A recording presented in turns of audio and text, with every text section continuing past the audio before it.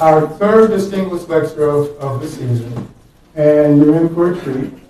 And before we get started, I would like to introduce our guest. Uh, we have with us this evening Mr. Ray Ferrero, Jr., Chancellor, Nova Southeastern University. Mr. Alan Levan, Trustee, Nova Southeastern University.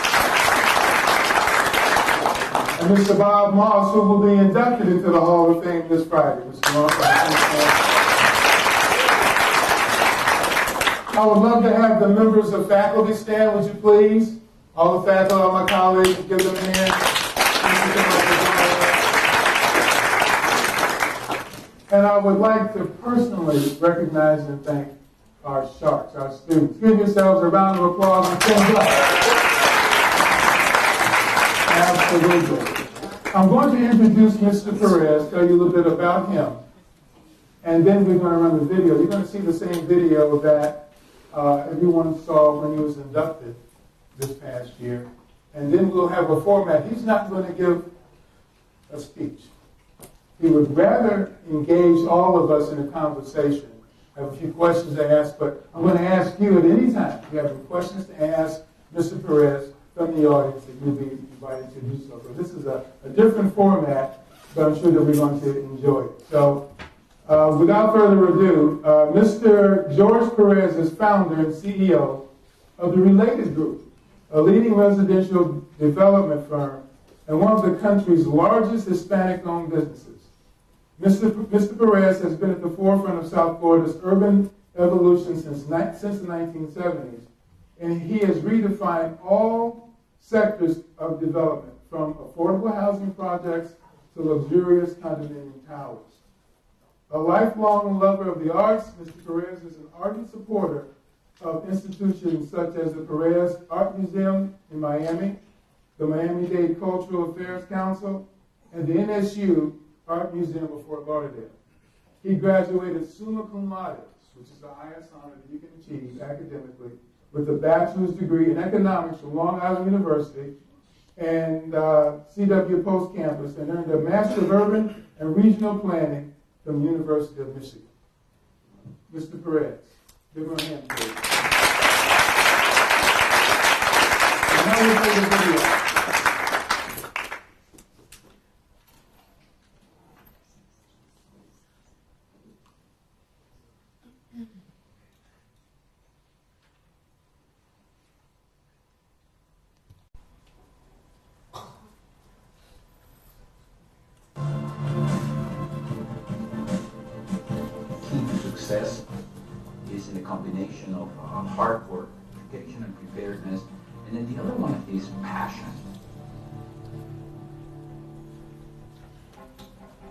I was born in, in Argentina with Cuban parents. Went to Cuba six months later. Castro comes in. They take all our money, and we moved to Colombia, and there's where I spent my formative years. My parents paid a huge attention to education, particularly they would always say, you can, they can take everything away from you, like everything was taken away from them, but they can't take away from you uh, is education. And I pursued uh, philosophy and economics when I finished college, and I decided to go to Europe, and I stayed in Europe almost a year, and that's where my love of cities occurred. I had a scholarship at Berkeley uh, to study development economics, and I wanted to be an urban planner because of the love that, that uh, that I gained in Europe about urban areas and how people live. After I got my master's degree, I came here to Miami and I became an urban planner. You know, working for the city of Miami. The bureaucracy, particularly somebody that with me that was so intense, um, it tends to you know make you a nine to five um, and and creativity and drive um, is not rewarded. I became a consultant to governments and I became a consultant to the private sector. I did a lot of market studies telling developers what they should be building. I told myself, you know, this looks pretty neat. You know, maybe I should do it myself. So that's when I decided to jump into the private sector. This was 1978, 79. I had done a huge market analysis for a group of developers, and I told them instead of paying me what you had agreed to pay me, we had worked out that I would take 10%. And so I ended up with two old buildings in Little Havana, which is a low-income neighborhood of Miami, and that's those were my first jobs. And I wanted to do public housing, affordable housing. I joined forces with my partner now for almost 40 years, Steve Ross. In the first year, we turned a profitable year. By the second year, uh, we were the largest affordable housing developer in South Florida, and then became probably in the third year the largest in Florida. The transition was from the affordable housing to much more market rate, uh, you know, first apartment rentals and then the condominiums or mixed-use projects and so forth. I wanted to make sure that I worked with the greatest designers. From the very beginning, I wanted to incorporate art inside the buildings and outside the buildings, you know, so the rest of the public would enjoy that art. And we do this not only in our most expensive condominiums, but all the way to our affordable housing. We were very, very, very fortunate uh, that had um, profitable years, you know, without much adversity at all since 1979 to 2009. And then this great recession hit 2008, 2009, 2010, and we had huge adversity. And probably um, people will tell you that they're that they're most proud of me, whatever that means. Um, not during the time of success, but during the time where everything seemed to uh, to have no answer. And the biggest thing we taught us was humility right? We are not above the market. You know, we can get hurt just like anybody can get hurt. So we remained very, very calm and came up with um, very transparent programs. So leading the troops with that philosophy was very, very important. And we learn, right? We learn about the things that could go wrong, so we don't repeat them again. Guy need to work harder and be more prepared than anybody else. That's extremely important. Then education is very, very important because I think it gives you the background, the capacity to think, you know, uh, to adapt to change, hard work, education and preparedness. And then the other one I think is passion. And that passion, you know, breeds the competitiveness that I think everybody in this company, I hope everybody in this company has. A lot of people say, well, you know, related is George Perez. It's not. You know, I've been able to really learn how to give uh, real responsibility uh, to others. I don't put people in slots. You know, I like to think of us as Renaissance men and women. You know, so instead of having you know one person that specializes in construction and one in marketing, this my developers are jack of all trades. We are a company that does a lot. I mean, the other day I was with Forbes, and um, they asked me, well, what are the projects? And I said, okay, let me let me give you because I have the list of my projects. And they go, you've got to be kidding me. Um, we are working in over 70 jobs now at the same time, and probably three billion under construction. I feel like the basketball player that once said, you know, I can't believe they're paying me to do what I love to do, and I feel that way. You know, to me, it's exciting every day. I come in and I meet architects and I meet designers, and I'm I'm doing different things that are meaningful to me and that make me a more complete person. So pick something that you love, and that's the only way you're going to have the passion that you need to be successful. An entrepreneur is a person that takes risks because he believes that he has something to offer that people are going to consume.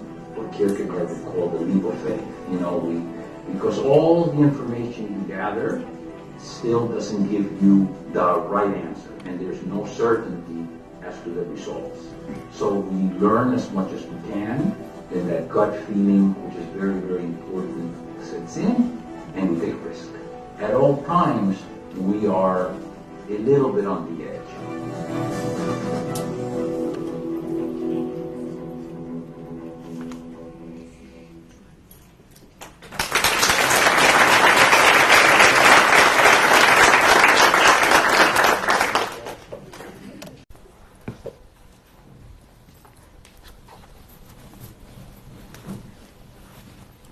That's impressive.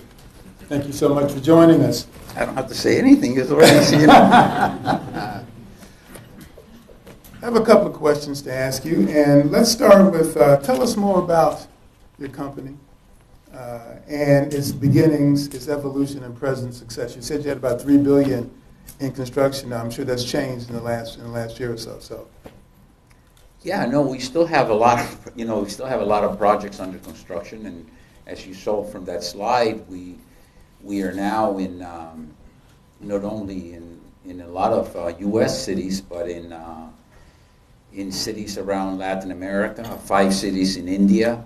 Um, so we, you know, we've grown quite a bit. You know, the company started in 1979 as a result of, um, like it's also said there, me doing a market study for a for a group of people that wanted to um, to do affordable housing in the city of Miami, and I had, um, as a as a city employee, uh, created the housing programs for the city of Miami. So it was easy for me to to be able to respond to the RFP, the request for proposals that the city put out, um, and. Um, and we won the RFP, and, and that's the reason that I met Steve Ross, who's my partner, um, who had also competed for RFP and, and did not have the knowledge of the city that I did.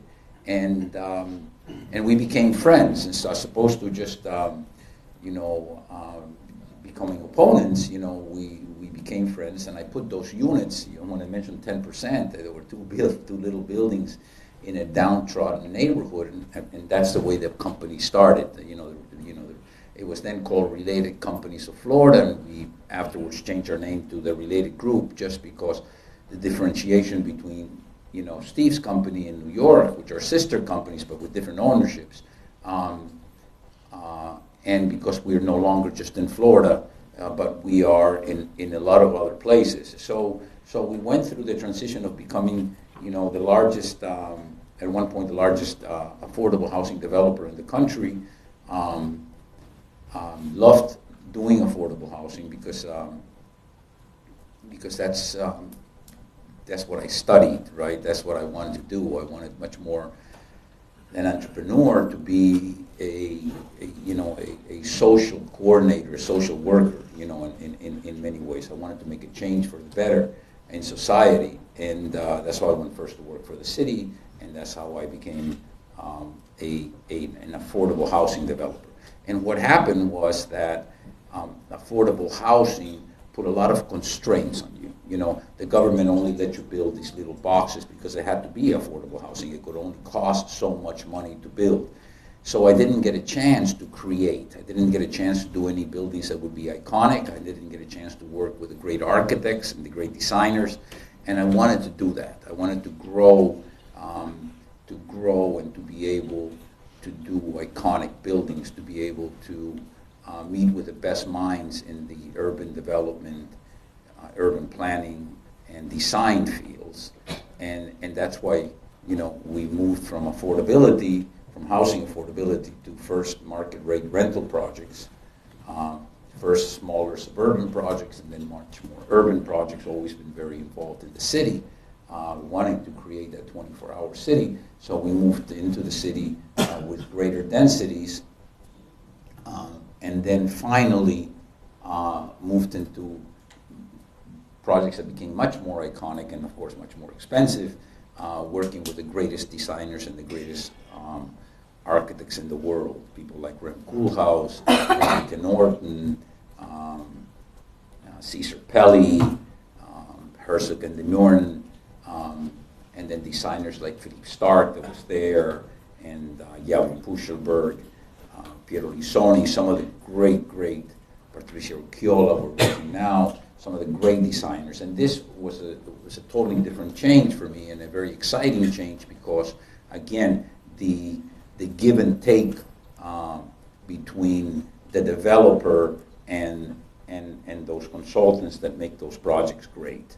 So there was a progression that took, you know, 40 years now, you know, they've been doing this, you know, 100,000 units later. Um, we've sort of done the whole gamut of, uh, of everything that has to do with housing, residential, hotel, office, and commercial. And today we do a lot of mixed use projects.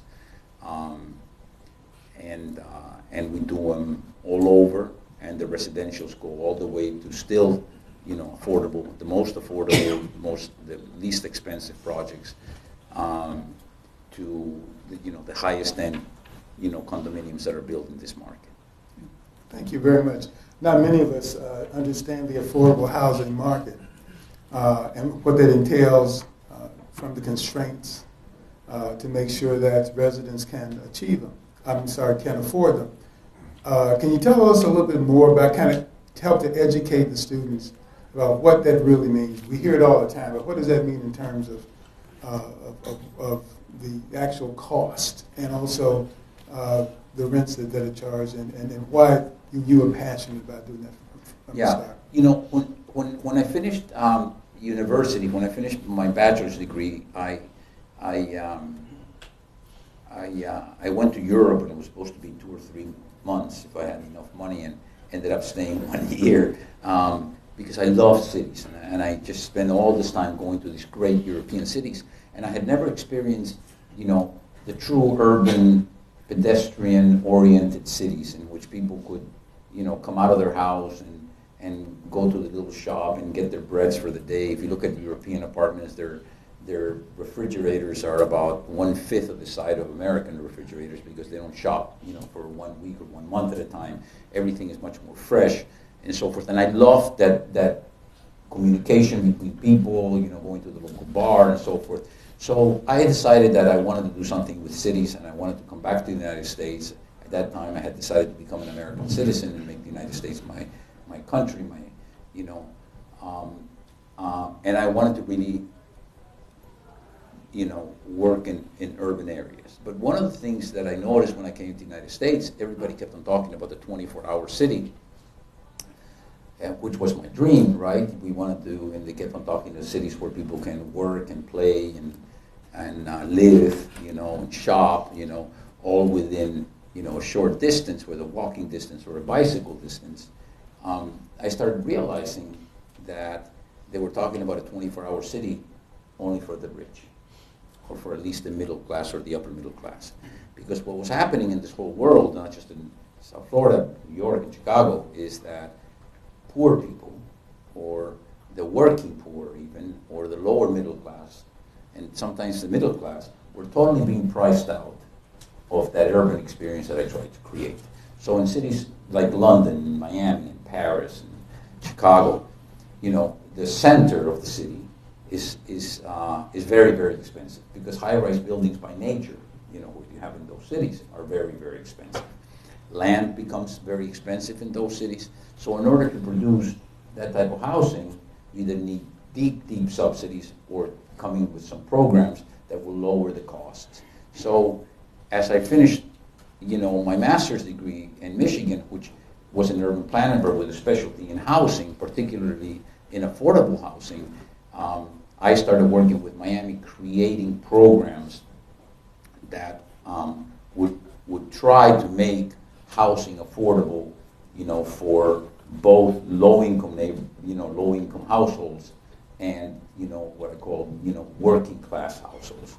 Um, and we created this housing program that later on, um, when I decided to go to the private sector, again, my decision was not, I'm going to make money in the private sector. Oh, yes, I wanted to, to have a, a better life for my family. My decision was really made on, I really want to put into practice all these things that I preached and told people to do. And, um, and that's why we did affordable housing. And they were great, great years. So go back 40 years ago, in which I thought there was a housing crisis, you know, affordability crisis, and, you know, bring it now into 40 years from now. The crisis has gotten only worse. Affordability is worse. There's less government money to you know, to provide for affordable housing. Um, the standards of housing have become much more onerous. So in Dade County, for example, you have a code with uh, all the hurricane codes and so forth that make housing much more expensive. Um, parking ratios haven't changed. So to, for today to build a condominium in Miami, a high-rise I mean, high-rise rental project in Miami, as cheap as you can build it, you're to have to get three dollars a square foot in rents. That means that a 1,000 square foot two-bedroom apartment, for example, will have to rent for three thousand dollars a month. Well, there's not that many people in Miami that can really spend three thousand dollars a month for a two-bedroom apartment. So the firemen, you know, or the secretary or the nursing assistant or the you know the technician or something has to leave outside the city and travel two hours, polluting our whole environment and polluting their lives because it's pretty tough. I mean, I just came from Miami right now, right? And it took me two hours to get over here, you know? And those are the distances that people travel every day to go back and forth to work, you know? Not moving from county to county, but just from Miami to Kendall, which is a suburban neighborhood of Miami. So to me, this was uh, and still is a real problem in all the senses. A, the 24-hour cities being exclusionary by nature of cost, um, and B, in Florida, my South Florida has the worst housing uh, standard of any major city in the United States. You know, that's not because we have the highest cost in housing, but because the ratio between earnings and housing cost is the worst. So while housing in New York is more expensive and in California is more expensive and Chicago is more expensive, the salaries in those places are much higher than the one in South Florida. So that's what creates the huge housing problem, and that's why we continue to try to create programs that will allow housing to be done. And we do those in conjunction with the federal government, with the city government, with the state government, but also trying to promote uh, things such as less parking requirements, you know, for urban housing. So that reduces the cost immensely. Uh, we're doing a lot of micro units right now, like I have been doing in the rest of the world except here. You know, so we're doing now studios for $350, $400 a square foot, one bedroom apartments for $500 a square foot. So um, all those measures, working with the city to do um, to do uh, tax abatements over a certain period of time to get additional densities, um, and a number of things that will bring down the cost of housing so cities, you know, can become affordable to as many households as possible. Thank you very much. I just got a huge education myself. I know the students are taking notes. I can see that out there. That's really good. Uh, this next question is uh, a question that I know that uh, Mr. Levan can relate to, and Mr. Moss, and Dr. Trueroger. The question is, uh, what inspired you to take the leap of faith and risk everything to become an entrepreneur? I mean, I wish that was an easy answer for me. I mean, I could say that, you know, I want, you know, I, I, I, first of all, never thought, sorry about the business students, right, that I would be an entrepreneur. You know, I was an entrepreneur by accident. Again, I was really a do-gooder. You know, I studied philosophy and economics. Um, uh, at that highest level, by that I'm saying not economics that applied to anything. Everything to me, everything was, you know, you know, Samuelson and and Kenneth Galbraith and things like that, laws of supply and demand and so forth. I was much interested in, in macro, you know, economics. And then when I went to graduate school at Berkeley, I studied uh, macroeconomics for developing countries. And then at the University of Michigan, I finished in urban planning. So I never really studied to be a developer. I think they would have laughed at you. you somebody would have seen me in college and said I was going to be a developer. Um, so that's the first thing. I really didn't want to be a developer. Um, I was driven to be a developer because I did not like the public sector and that was too constraining. And I, at one point, did not want to work for anybody because I really wanted to do uh, what was close to me and I wanted to do it on my own in my own way. So that's what really pushed me. Uh, I wanted to really try it out. I didn't want to talk about it anymore. I wanted to try it out. And I wanted to try it out in something that had some social consciousness, and that's why it was affordable housing. And also in something that I could afford. And those days, I could get 100% financing for the government because I didn't have any money to, to start doing any of these jobs. Um, so that sort of led me to building affordable housing.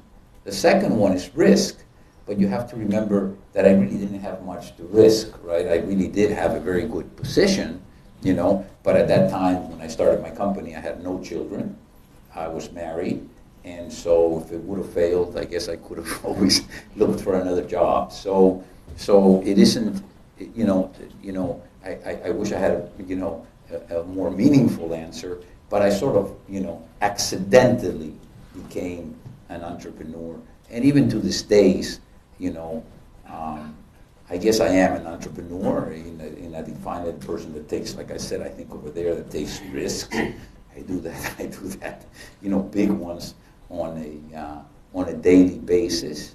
Um, but I think of myself as more than entrepreneur. I, I, I think of myself as somebody that is making a contribution. You know, that that to me is um, is far more far more important. If if I wanted to, you know, if I wanted to wrap my epitaph right, I would hate to say the guy was worth a lot of money or the guy was a successful entrepreneur. That that's that that goes way down in my uh, in my uh, in my qualifications of what I would like people to know me by.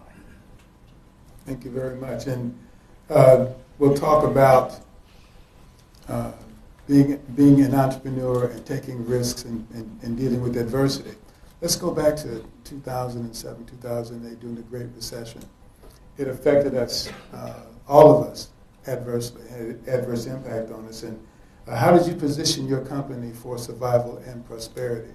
And share with the students and all of us uh, what uh, strategies did you employ?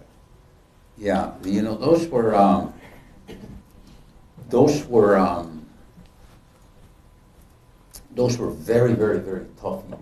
You know, uh, actually as tough as I think you can get. You know, on a very personal basis. At the same time, I got very sick. I had to have uh, I had to go to Mass General and get this huge operation. That thank God turned out uh, to be okay.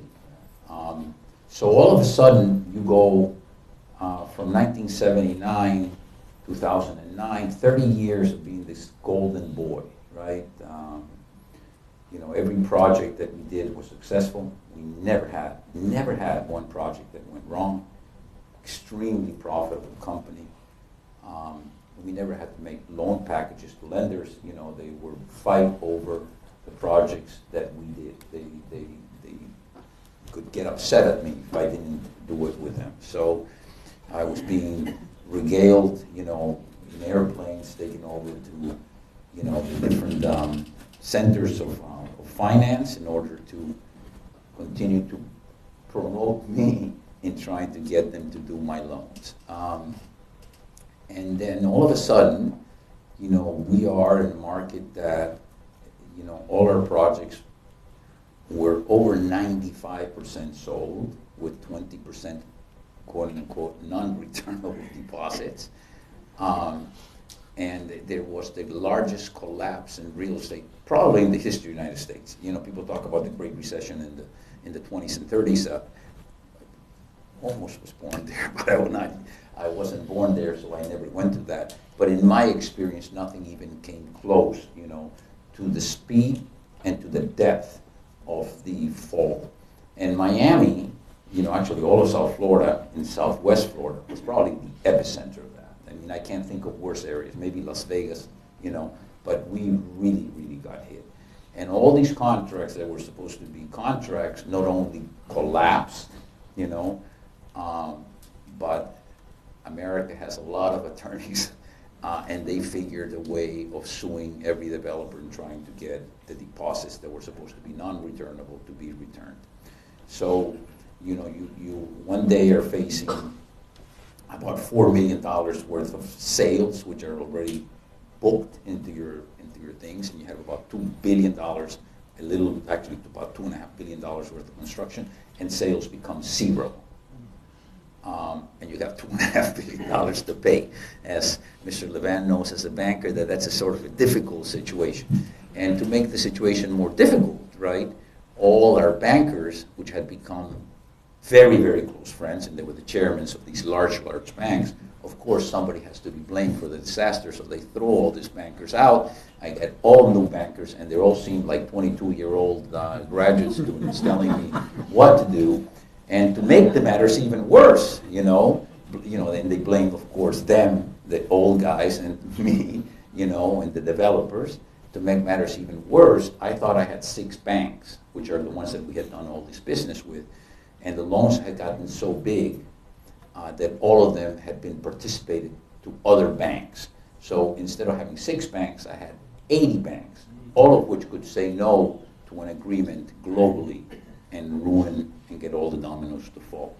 So as you can see, that's just not a very pretty picture, right? So I had to play a lot of poker. That's when you, you know, separate the men from the boys or the girls from the women. Um, uh, it, it was a very difficult, difficult time. And uh, I think one of the proudest things in my career, I will always say this, uh, you know, I finished writing a book. I mean, finished writing a book. I wrote a book in 2008, you know, uh, talking about this, you know, how to be a developer, a very successful book, New York Times bestseller and so forth.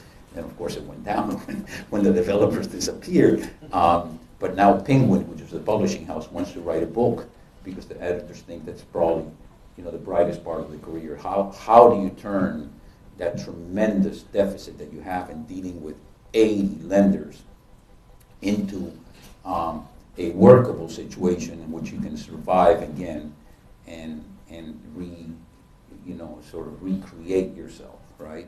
Uh, So this was very, very difficult because I had to play two very distinct roles in my company. On one side, I was putting out fires, just a very negative, negative environment in which I convinced all these banks that we were the best solution to produce the best results for all these projects that were in trouble when there was no market, you know, uh, no, no light at the end of the tunnel. And with a sheep mentality, all these banks start dropping, you know, properties, you know, that were selling for $600, $700 a foot for $100 a foot. So I look at that, and at the same time I look at this, and I say, this, the world is not going to collapse, you know. Um, we will do better over time, particularly a place like South Florida, where I believe that in the long run is one of the best markets in the world because people want to come here. So on one, I created basically two companies. One that dealt with the workouts, which did very well finally and got rid of all that stuff, and everybody came out a lot better than I did. In the process, we lost a little bit over a billion dollars in cash.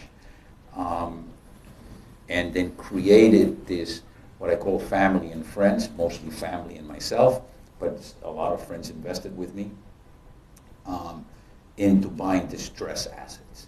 So while at one time we were trying to get rid of this, you know, the banks were giving away these things which I thought were just gimmies, and we started buying assets everywhere in the United States for a fraction of the cost in areas that I thought were going to be good areas and come back, and that led to uh, the reestablishment of the company. When we sold those, we did extremely well, and um, and gave us the uh, the capital to to um, immediately when the recession finished and we saw the first signs, um, we hit it very very very hard, um, and we're very successful in, in the developments again.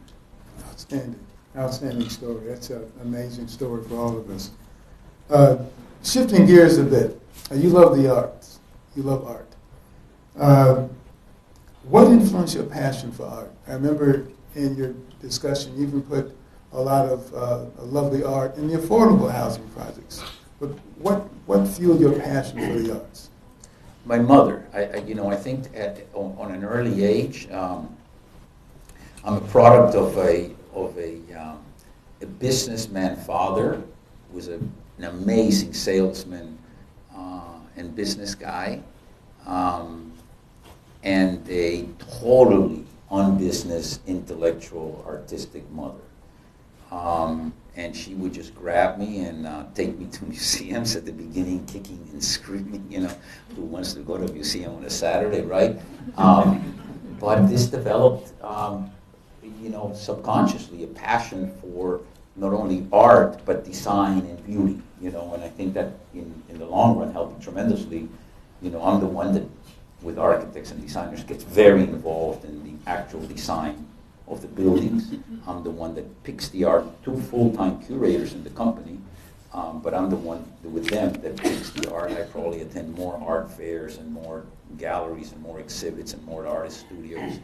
Um, and and this, you know, was my mother. You know, my mother talking about it. You know, you know, uh, discussing it, and and it went beyond just the the, the, the visual part of the art, um, but it was in, in theater and movies.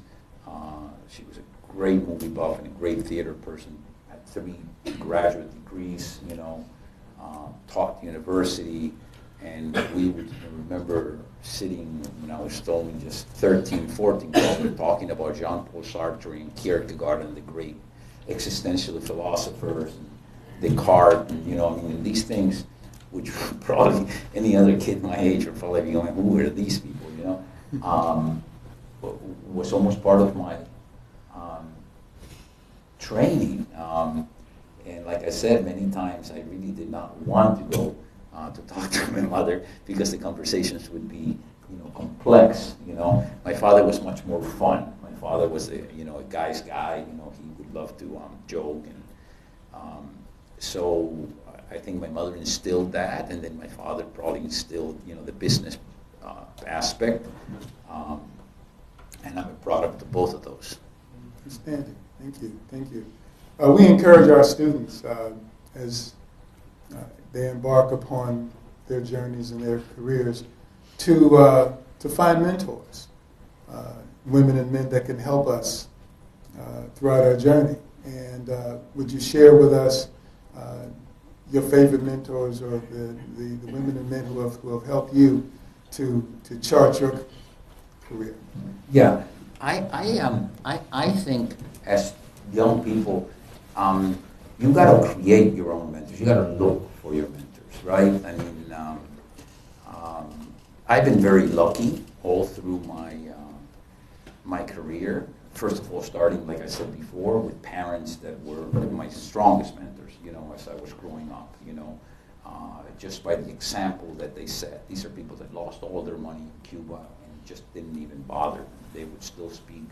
They were still liberal Democrats, believe it or not He's talked about the injustice of certain societies and why some revolutions had to be. Um, I mean, they were great, great role models. And then as I went to college and then graduate school, I was very keen on picking those professors that I felt, and I would look at it, actually study, you know, those professors that I thought were would be intellectually challenging and became very close with many of my professors and became a graduate student, uh, a teaching student um, when I was in graduate school. Actually, I even taught an undergraduate um, because of these professors. And, and, and, and those people encouraged me to think, you know, told me what to read, you know. Um, and we had very, very um, intelligent conversations all through my uh, university years. Uh, and, and, and, and, and those, you know, actually they got me my first jobs, you know, and and those guys were very influential in, in how my career developed. And then I got really, again, very lucky um, when I started working uh, as a consultant with this man that ran one of the biggest um, research firms, you know, um, that took me under his wings. Um, in the city of Miami at that time, we had a, a visionary mayor and an incredible city manager that also took me under their wings, you know, and at, at age 27, I became the head of community development, economic development in the city of Miami, you know, telling all these 50-year-old people what to do, which that's why I grew my beard, so I wanted to look a little older, you know, and I was like, you know, a young-looking kid. Um, and then when I went to business, I've been very fortunate, not only Steve Ross, who's been my partner for 40 years, and we're just very, very, very close, but almost all the partners that I've had, you know, have been contributors to uh, to my career. You know, so so you really got to look. You know, I, I don't like wasting time with people that don't contribute to my life. You know, I guess I'm a little bit of an elitist when it comes to that. I uh, I think we have very limited time, and I think I, I, I, I like to think that I want to I want to spend it with people that add, right? And those are your mentors. So hopefully they're your friends and your mentors, and and uh, and that's those are the things, the people that are going to encourage it and make you grow as a as a human being. Thank you. Let's have some questions from the students in the audience, if you don't mind. I think it's, you can do Yeah. that. C- Can I be the first one? Absolutely. Mr. Perez, it's a pleasure to meet you. Um, I've been reading about you for many years, and um, you were a very influential person in my life. Um, I'm doing a master's in real estate development at Nova Southeastern University. Um, I, ha- I even have your book right here with me. yeah, it's, it's very impressive what have you done in your life, your accomplishments. Um, I have two questions for you. Well, one was already answered, so I only have one. Um, what advice would you give to a, a young person like me that is very in, impatient, um, wants to start a business, and is very passionate about creating things and putting deals together? What would be the best advice for you um, before I take that leap of faith? And Yeah. Look, um, it, it seems like you have the most important ingredient already, right? Which is the passion, right? I mean, I, I talk to, you know, I have, you know, children a little older than you guys are, and one that's, you know, 14. So, um, you know, I, I always think of three ingredients, right? I, you know, I think of, um, you, you got to be the most prepared person in the world, and you've got to be the most educated, right? So when I went and I prepared, you know, when I went to investors, you know, I mean, there wasn't one thing that they could ask me that I was not ready for, you know, and that comes from the education that you have in the university, all the way to when you finish, you know, um, doing market studies. You know, you gotta be, you know, the more prepared you are, you know, the more you're going to succeed because people are going to believe in you. And particularly when you start, you know, you gotta make people believe in you. You know, so that's number one. Number two, I have just not met anybody yet. Everybody says luck this and that. That does not succeed because of extreme hard work. I remember when I started my company, it was 20 hours a day, literally 20 hours a day, seven days a week. It was brutal. I had to outwork everybody.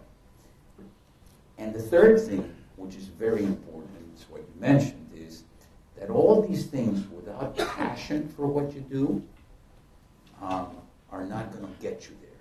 So for me, it, you're going to get burned out. You know, I see people that work very hard and don't like what they're doing, um, and typically it doesn't work. You know, I think you need to have that passion, a, to express yourself, and so people believe in you, right? And so you believe in yourself, right? So, so that's that's what continues to drive all the other things. You know, that's what continues to make me successful. Thank you for that advice. And last name, do you mind signing my book? Absolutely not. Would you give her the mic? What's your name? Um, Luis Mendes. Luis what? Mendes. That's how you do it. That's how you do it.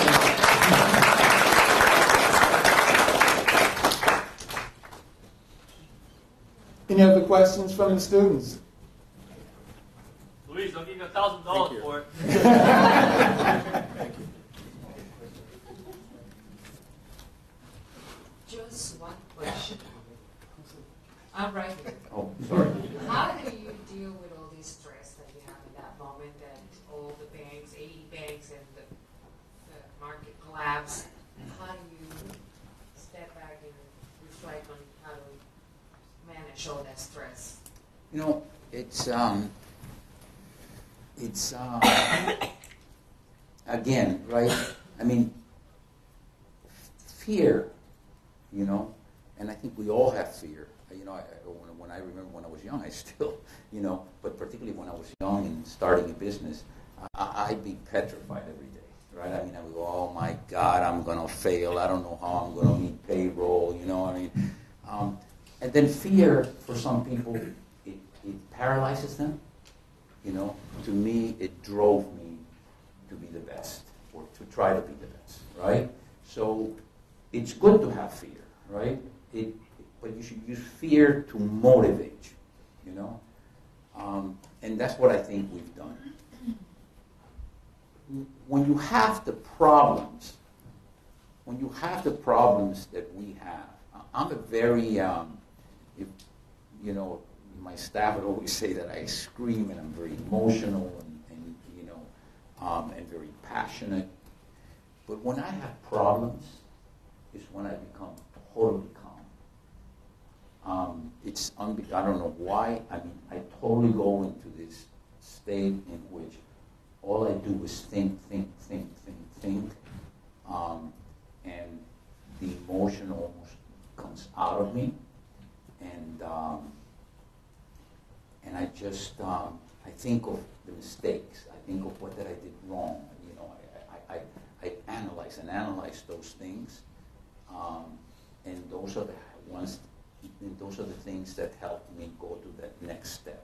Because if not, you'll continue to tumble over the same things. You know, so um, on one side, I have to control that desire to do everything yesterday and so forth, and just become very calm. Um, so that calmness. See, when I'm developing, you know, my passion and, and my energy is what brings others to go become passionate and energetic. When you got a lot of problems, it's the calmness, you know, that gets everybody to be calm and to believe in you and to think more clearly in very difficult times that there is an end to this and there will be a better future. So, in difficult situations, and you know, and you just gotta grow very thick skin and uh, and think yourself through things. Any other questions? Yes, we have a question back here.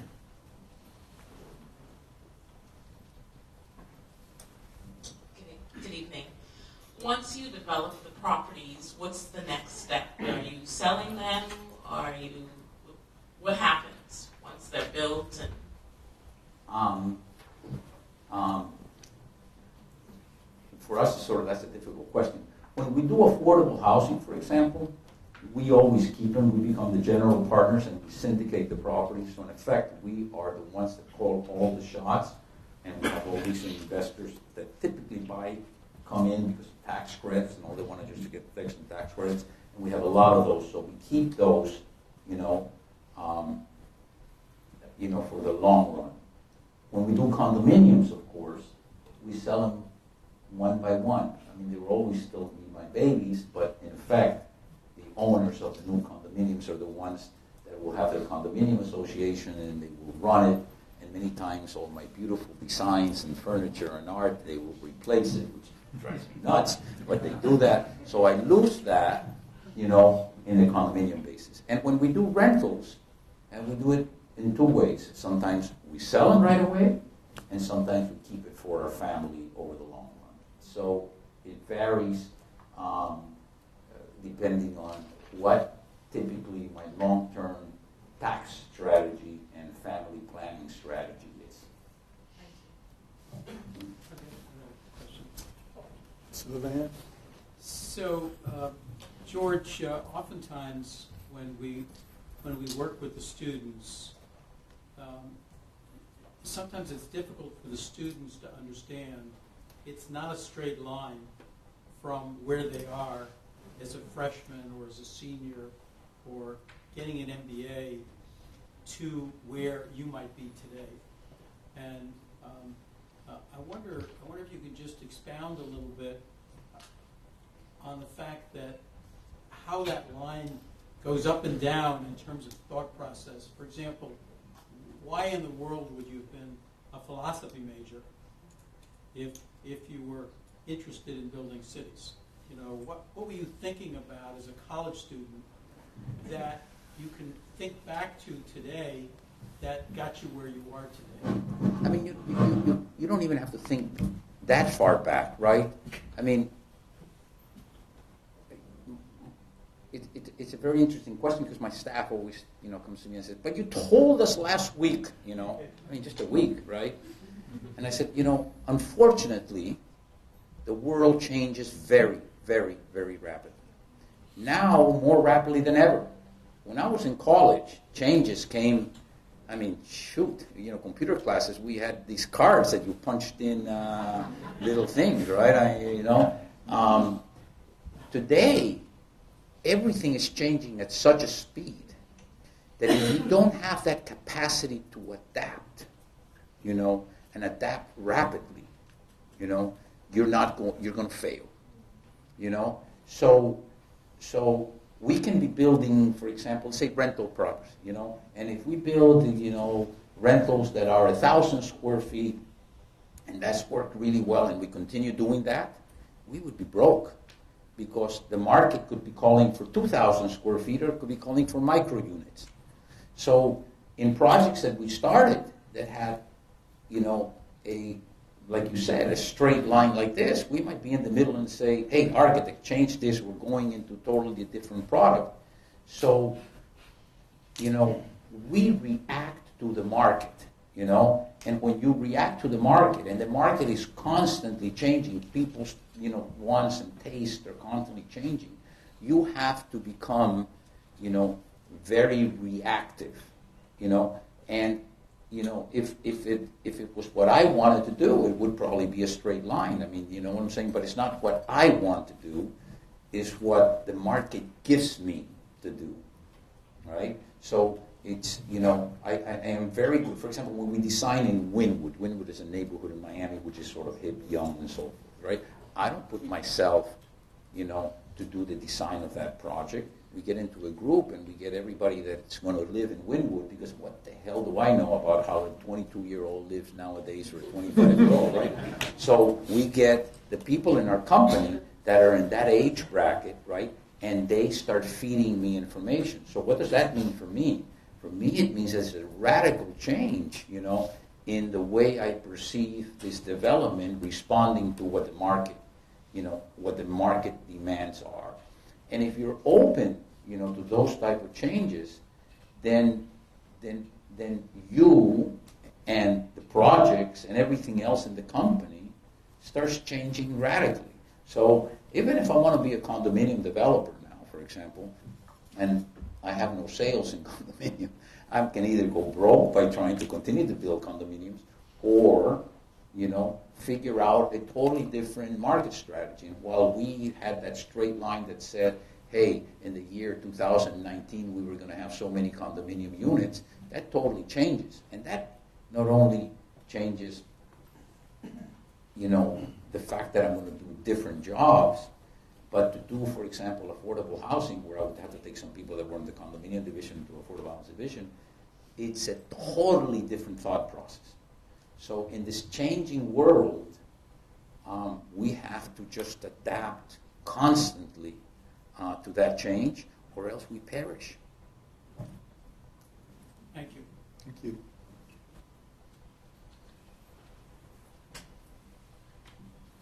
Uh, I have two questions. The first question is, uh, how do you envision the price of uh, luxury condominiums in the near future? And the second question would be, how does the funding differ from the for sale condominiums to the rental units? You mean the funding? You mean the financing, or The financing, yeah. Okay. Um, in uh, so the so the first question, you know, Florida is probably uh, the when it comes to condominiums, it's probably the biggest roller coaster market in the United States. And the reason for that is that it is impossible to uh, assess, you know, scientifically assess demand in South Florida uh, because of the international market. So while in Atlanta, for example, if we're selling condominiums, 80%, 90% really of the market will be Atlantans, right? You know, in Miami, 80% of 90% of my condominium markets, for example, in downtown, will be foreigners. Okay? So in Atlanta, I can do very scientific studies that says, here's the population growth. There's so many households, you know, per population. You know, the employment characteristics are these. There's so many people in these income brackets. The building permits on my supply side are this. So I can build this thing and I should expect to have a certain level of demand. In Miami, how the hell do I know how many Brazilians are going to buy condominiums for me or Mexicans or whatever it is? It all depends on whether Lula goes to jail or whether, you know. So the demand parameters are almost impossible to assess, right? So given all that, um, when we had the last recession, everybody said there's a 20-year supply of condominiums in Miami. There's no way this market is coming back. In three years, it came back, not because of the demand from the locals, but from international demand, which again was impossible to, to measure. Um, so, what is going to happen to the price of condominium? Um, I think not only in Miami, but everywhere, almost in the world, luxury condominiums have been overbuilt. It is probably the sector that has been most overbuilt, right? If you being So business guys, so being, you know, being you know, business students and knowing supply and demand, that probably means that there will be at least an equilibrium and not a an increase, uh, and there could be a price correction. Not like during the recession, and the reason for that is leverage. All the condominiums that we sell today are 50% down payments, so nobody's dropping out of 50% down payments. And this time, we've learned our lessons. We made them really 50% down payments. We are closing units now. We have not had one default in thousands of units that we've already closed this year. Um, your second question is financing. So financing in condominiums is totally different than financing in rental apartments. Uh, let me just take first rentals. In the old days, the old days, 10 years ago, the rentals were, uh, you could get 85 to 90% financing in rentals, even more if you got Fannie Mae or some government, you know, financing. Today, banks have become very conservative, and that's also very good because it's going to prevent an explosion. So today, if you can get a 70% loan on a rental, on a to be built rental apartment, it, you will be doing very, very well, particularly if you're not putting personal guarantees. Now loans are in the 60% range, uh, non-recourse loans, uh, and that is good, I think. Um, in condominiums, in particularly in South Florida, it is based on the pre-sales that you achieve for a condominium. So a lender will, will lend you according to what they feel will cover their loan. So the loans are much, much lower than during the last. Uh, so today, banks and condominiums are so incredibly conservative. So you're getting lend, loaned um, 30% of sales. So um, I should be a lender, right? I mean, I mean, they, they, they, it's very, very safe money in the condominium. And even with that safe money, it's still sort of a little bad, bit of a bad word, you know. Um, um, so, you know, that's what's happening with condominiums. In other cities, incredibly so, the lending for condominiums is much greater. So you will take LA, for example, California, or New York, uh, or even Atlanta, where people are coming with 5% down payments, and the lenders are giving higher loans for those condominiums without the pre-sales than in South Florida. I guess because they didn't have the explosions that we had. Um, but still, to me, that is very risky lender. As a matter of fact, it's not only very risky lending, that's why we do no condominiums in California or Atlanta, and Ross is doing them in New York, you know, um, different assessment.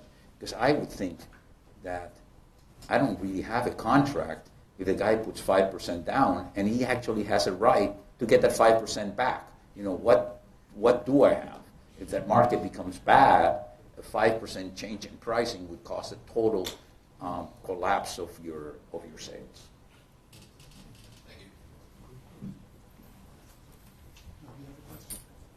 I have a Uh. I just want to deep a bit more on what he asked about the financing. Uh, what do you think it's the level of impact on EB5 funding and regional centers here in South Florida, where we see like a huge number of immigrants coming and trying to get their paperwork and all this? Yeah, we produced EB5 very successfully in New York, um, but EB5 works when you create employment. We are much more of a residential builder, and EB5 really does not work well uh, for residential projects. It works fantastic for office, shopping centers, where you create full-time, full, uh, full-term employment. Uh, so far, by far, the greatest amount of EB5 is coming from China um, and it's still coming. So yes, it's a way of um, it's a it's a fairly inexpensive way of financing without guarantees. Thank you. Chancellor Ferrero. Uh, I, I think I can speak up loud enough without the mic. Uh, I- I'm going to ask you to look into the future. I'm particularly interested in economic development. Good. We're both on the same wavelength now. Uh, I'm particularly interested in economic development, particularly Broward County. So take me out for the next 5, 10, 15, 20 years. What do you see in downtown or, or in Broward County? And contrast it with what you said about it being a great market and uh, the types of units that you're having to consider building, etc., and the American passion for the automobile. Wow. You know, whenever I answer, This is your chancellor speaking, sir. I hope you know that I would give you a totally different answer if this was made out of brokers and possible buyers, right? Um, but uh, you know, um, look, I strongly believe that the future of the world is in more dense cities. Um, I think the use of the automobile will decrease greatly and change greatly. The driven automobile will be something that will be something of the past in not too many years ahead. I attend a lot of artificial intelligence conferences, and I will tell you that they're talking five, seven years before you just call a car and the car comes picks you up, and it'll go park someplace else outside the city and come back. That will change the whole way. They already do that in New York, right? no, no, no, no. Drivers the cars are just right now. Uh, they've had a couple of accidents, so it's uh, it's uh, it's still in, in the formative stages. Um, but I think people are going to congregate in cities because that's the only way that we are going to survive global warming and screwing up the environment forever. Um, so I'm a strong, strong believer in urban densities. We still, unfortunately, in Florida, in South Florida, have to provide parking because people are still enamored by their cars. So whatever I want to do, if I build in Fort Lauderdale an apartment without parking, I'm going to have a lot of trouble renting it or selling it. Nevertheless, I think that we will be less dependent on cars. I think if I was an investor, I would be putting my money in urban areas as opposed to far away suburban areas.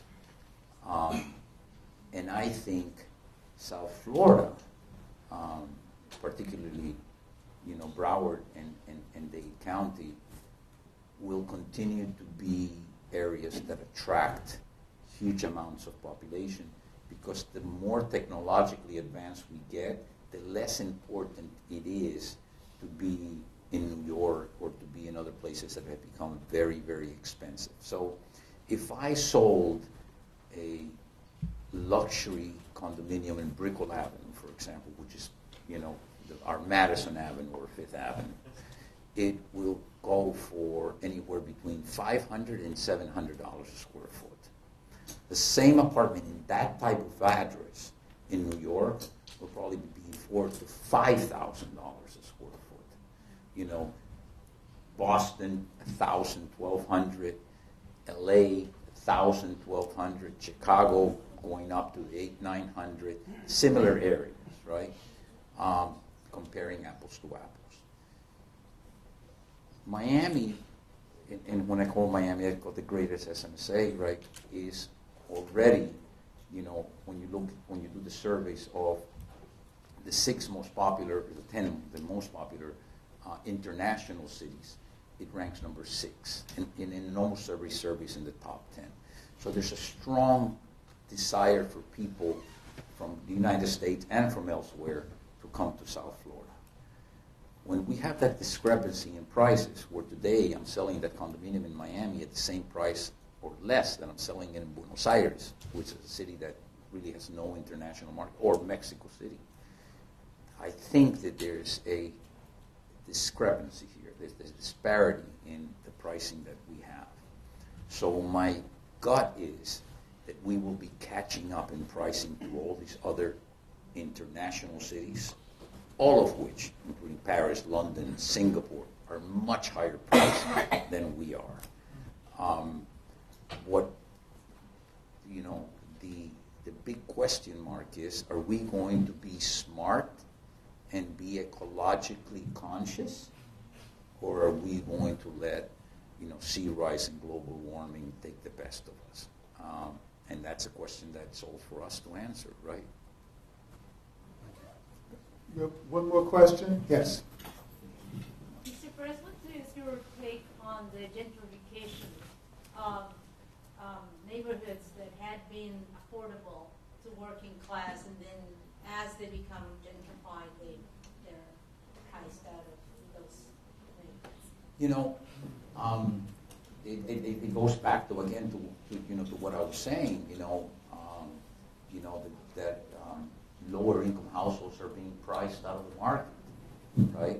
But fortunately, unfortunately, we live in a market trade society, which you know the market you know commands what is going to happen to any neighborhood, right? Uh, so you can't zone according to income, right? You can't say we can't. We're not going to allow high-income households to come into Fat Village or Little Havana or whatever the you know the surrounding urban neighborhoods are.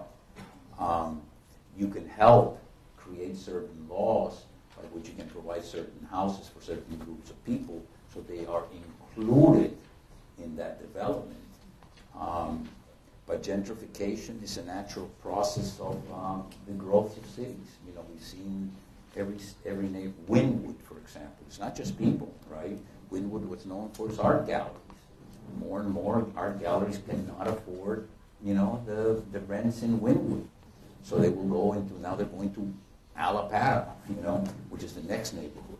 And I am telling you already, you know, five years from now, they're going to have to go to Little River and then to, uh, uh, you know, I don't know, you know. Um, and that's just a natural process, which many times is painful, but it's part of, you know, the capitalist system.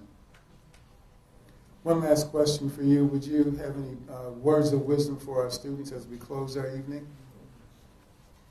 No, I think between the tape and everything that we said, I mean, I'm run out of you know words of wisdom uh, or whatever those things were. You know, I, I, I go back to the, to the to this young man. You know, I I was um, I was um,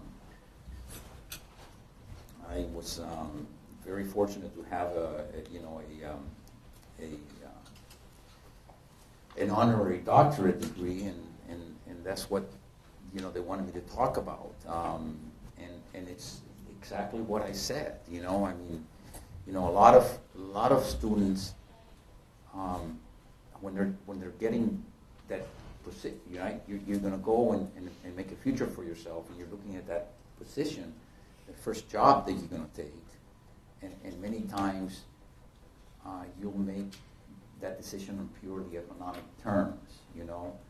Um, and, and I urge you, you know, uh, not to do that.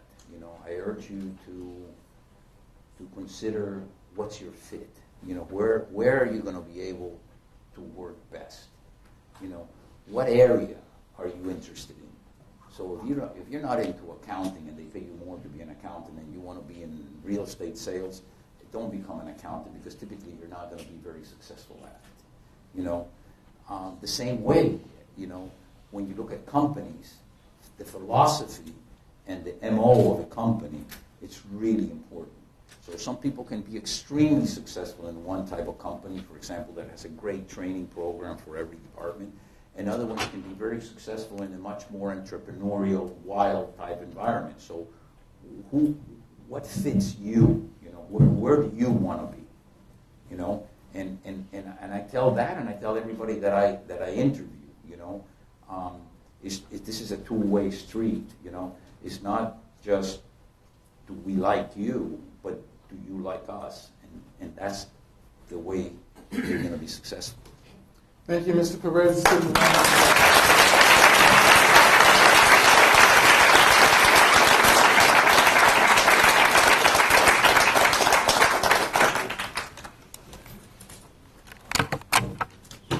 A little something for you. I'd like to invite Mr. Levan up and his future colleague, uh, come up, Mr. Moss.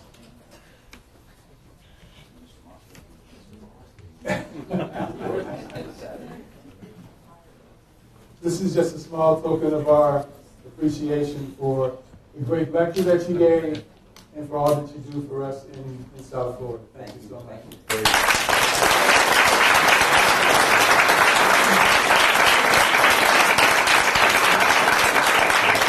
And with that, that closes our evening, and please, uh, feel free to come up and shake his hand